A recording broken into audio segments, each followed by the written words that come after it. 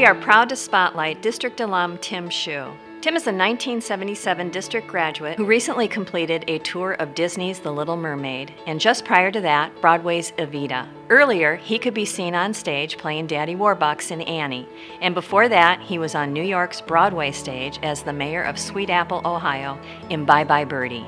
And those are just a few examples of his most recent on-stage work.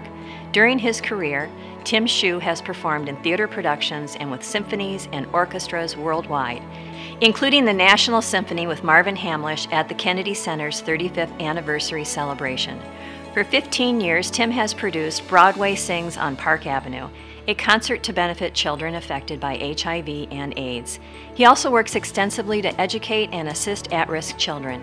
Tim's work as a vocal director, teacher, clinician, and adjudicator for theater, choral, and show choir festivals have taken him around the world, and it all began at Kennedy High School. During high school, Tim was active in all choral groups at Kennedy.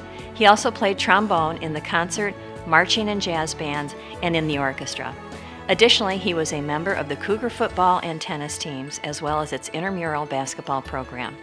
His favorite classes were English, drama, and math, and he is quick to credit his teachers for helping him to develop the ability to multitask and for defining his career goals and path in the education and performing arts field.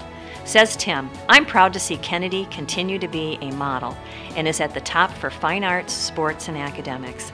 I feel very blessed and fortunate have had that JFK experience.